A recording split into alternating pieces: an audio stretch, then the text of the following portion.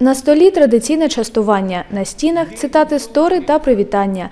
У спілці Орменахем так готуються до кожного свята. Повага до історичного минулого народу, знання та дотримання традицій – це головна причина, через яку зібрання спілки відвідує Ганна Наливайко. Синагоги нету, э, кошерности здесь нету, э, Равин только приезжает э, не так часто.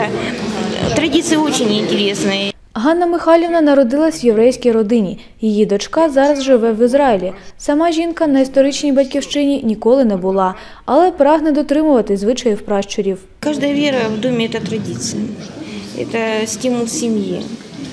У одних еврейство, у других христианство, у других слово жизни. Это как бы э, залог семьи, это м, традиция любой семьи.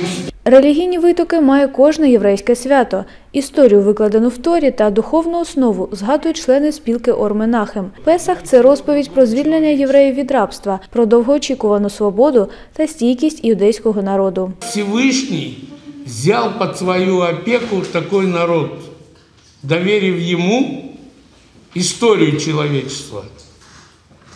Ведь на еврейском народе вследствие этого всего определились и другие мессии, с мессией и другие конфессии.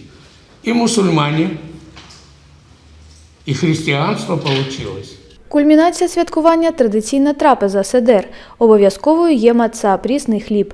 Він символізує коржики, які їли євреї, покидаючи Єгипет. Також на стіл ставлять яйця, зелень, цибулю або картоплю. Ще ласують м'ясом або рибою. В своей семье с зажиганием свечей э, очень хорошо готовятся к празднику, кошерят дом, уборку делают, чтобы не было мусора, ненужные вещи выносят, раздают людям. Перший день Песаха забороняється працювати. Наступні п'ять днів називаються звичайними днями свята і вважаються робочими. Останній сьомий день Песаха відзначається з піснями, танцями і розвагами. Валентина Вовканиш та Ігор Мухін. Новини телекомпанія Луч.